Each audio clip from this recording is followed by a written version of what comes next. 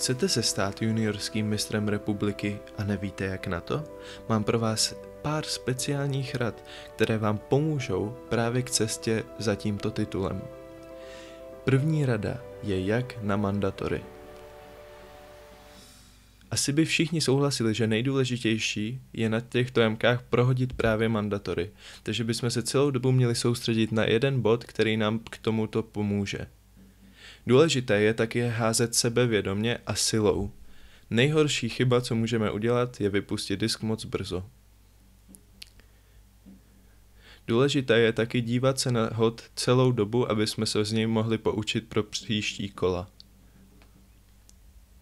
Házení z kopce je velmi specifické tím, že disky nelítají úplně stejně, jako když házíme na rovině.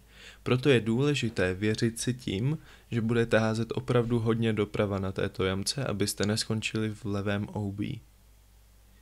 Největší chyba může být hodit to rovně nebo moc doleva a skončit právě vlevo v OB.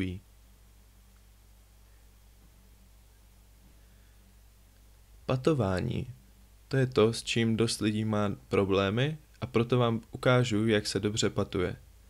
Když jste za kruhem, jako já na tomto videu, důležité je soustředit se na to, dát tomu dost cíly, abyste doletěli až do koše.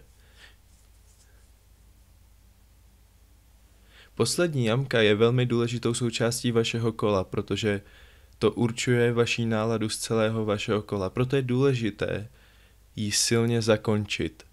Takže je důležité nenechat se rozhodit například fotografem. A tady to máte. Takhle se vyhrává mistrovství. Ať to lítá.